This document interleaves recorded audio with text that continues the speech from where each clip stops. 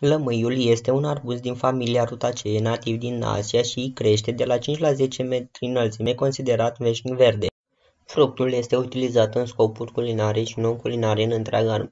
În primul rând, pentru suc, deși pulpa și coaja sunt de asemenea folosite la gătit, sucul de lămâie conține aproximativ 5-6% acid citric, care îi dă un gust acru și un pH de 2-3. Gustul acru distinctiv al sucului de lămâie îl face un ingredient cheie în multe feluri de mâncare din întreaga lume. Un studiu genetic al lămâiei consideră că este un hibrid între un portocal acru și un lămâi sălbatic. Se presupune că primul lămâi a crescut în sudul Indiei, nordul Burmei și China. În Asia de Sud și de Sud-Est, lămâiul a fost cunoscut pentru proprietățile sale antiseptice și a fost folosit ca un antidot pentru diferite otrăvuri. În India, lămâia este utilizată în viața de zi cu zi pentru diverse scopuri. Este utilizată în toată medicina tradițională indiană, în principal în medicina Siddha și Ayurveda. Acesta este unul dintre ingredientele principale în multe bucătării indiene. Lămâia marinată sau mango marinat fac parte din masa zilnică de prânz în sudul Indiei, în special în poja hindusă. Lămâiul a intrat în Europa aproape de sudul Italiei numai târziu de primul secol după Hristos, în timpul Romei antice. Cu toate acestea, nu a fost cultivată pe scară largă, a fost introdusă mai târziu în Persia și apoi în Irak și Egipt în jurul anului 700 după Hristos. Lămâiul a fost înregistrat în literatura de specialitate într-un tratat în limba arabă despre agricultura din secolul 20 și a fost de asemenea folosit ca plantă ornamentală în grădinile islamice. A fost distribuit pe scară largă în întreaga lume arabă și regiunea mediteraneană între anii 1000 și 1150. Prima cultivare substanțială de lămâi în Europa a început în Genova în mijlocul secolului XV. Mai târziu a fost introdus în America în 1493, atunci când Cristofor Columb a adus semințe de lămâie în Hispaniola de-a lungul călătoriilor sale. Cucerirea spaniolă a ajutat la răspândirea în întreaga lume nouă a semințelor de lămâie. Lămâia a fost folosită în principal ca ornament și ca medicină în secolele 18 și 19. Odată cu utilizarea lămâilor pe scară largă îngătiți ca potențiatori de aromă, acestea au fost din ce în ce mai mult plantate în Florida și California. Ca medie, lămâia conține aproximativ 3 linguri de 50 de ml de suc. Permiterea lămâii să ajungă la temperatura camerei înainte de stoarcere sau încălzirea scurtă într-un microunde face mai ușoară extragerea sucului. Valorile nutriționale ale lămâiei Culinar, fructul are utilizări multiple în bucătărie. Sucul proaspăt este utilizat în condimentarea peștelui sau folosit atât în marinarea acizii din suc neutralizând aminele din pește, transformându-l în săruri de amoniu nevolatile cât și a cărnii roșii unde acizii hidrolizează fibrele dure de colagen, dar pH-ul scăzut distruge proteinele, făcând carnea să se usuce la gătire. Acesta înlocuiește în funcție de gust oțetul în salate. Adăugând apă și zahăr se obține limonada, o băutură răcoritoare. Este folosită astfel în mai multe băuturi slab alcoolizate și cocktailuri. Sucul de lămâie este folosit uneori ca un conservant de scurtă durată la anumite alimente, fructe sau legume care au tendința de a se oxida. Prin o culoare maro, după tăiere, acidul său distruge enzimele care produc această oxidare. Medicinal, sucul de lămâie are proprietăți antiseptice datorită pH-ului scăzut. Este utilizat de la produse de prim ajutor până la tratamente împotriva durerilor de gât.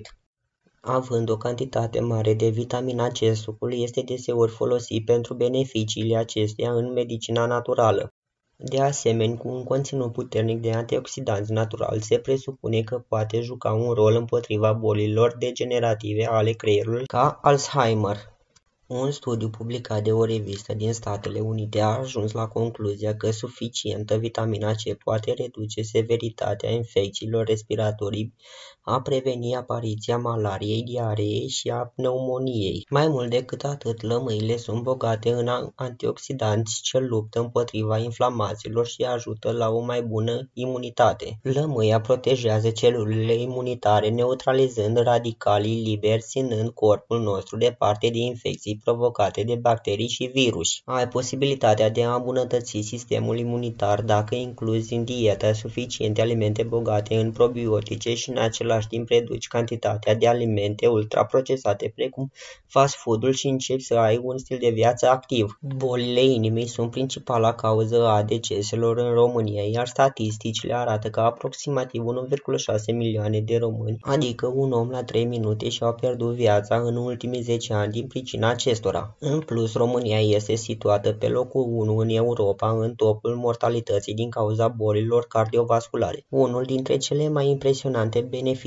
ale lămâii este efectul acestora asupra sănătății inimii. Mulțumită conținutului ridicat de vitamina C, chiar și consumul de câteva felii din acest citric pe săptămână fac ca inima să fie mai sănătoasă și mai puternică. Studiile au demonstrat că un consum regulat de lămâie sau alte fructe și legume bogate în vitamina C reduce riscul bolilor coronariene și a formării de cheaguri de sânge pe vasele inimii. Lămâile sunt bogate în antioxidanți și compuși natural eficienți împotriva cancerului. Așadar, nu este de mirare faptul că numeroase studii au descoperit cât de eficiente sunt lămâile în lupta împotriva celulelor canceroase. Spre exemplu, sucul de lămâie poate să reducă riscul dezvoltării cancerului mamar, precum și a altor tipuri de cancer, cum ar fi cel de colon sau plămâni. Lămâile sunt considerate a fi excelente alimente anti îmbătrânire și pot ajuta la o piele mai sănătoasă și strălucitoare datorită conținutului ridicat de antioxidanți. Unul din multele beneficii ale lămâilor este și acela că antioxidanții luptă împotriva radicalilor liberi și previn leziunile antioxidative. Radicalii liberi contribuie la procesul de îmbătrânire rezultând fiind ridurile, apariția pistruilor, uscăciune și o elasticitate mai proastă a pielii. Cercetătorii cred că antioxidanții sunt un mod eficient de a stopa procesul de îmbătrânire și îmbunătăți considerabil sănătatea pielii. Pentru persoanele care suferă de acne și nu numai și își doresc o piele cât mai curată, se recomandă să aplice câte puțină zeamă de lămâie pe ten sau să îl amestece cu produsele preferate de îngrijire a pielii. Lângă lămâi se recomandă să adaugi în rutina zilnică și ingrediente precum ulei de arbore de ceai, ulei de cocos și avocado. Înlocuirea sucului gazos plin de zaharuri și conservanți cu un pahar de limonadă rece te ajută să arzi mai rapid caloriile, fără prea multe sacrificii. De asemenea, un pahar de suc de portocale conține 112 calorii și aproximativ 26 grame de carbohidrați. Pe de altă parte, în apa cu lămâie fără zahăr sunt numai 6 calorii. Teoretic, dacă ai renunțat la a mai consuma sucuri gazoase sau fructe și să le înlocuiești cu apă cu lămâie, lămâie ai putea să economisești o mulțime de calorii și vei putea slăbi mai ușor. Deși lămâia slăbește, ar fi indicat să combini un regim alimentar echilibrat de substanțe nutritive și un stil de viață sănătos dacă vrei să obții rezultate mulțumitoare pe un termen lung.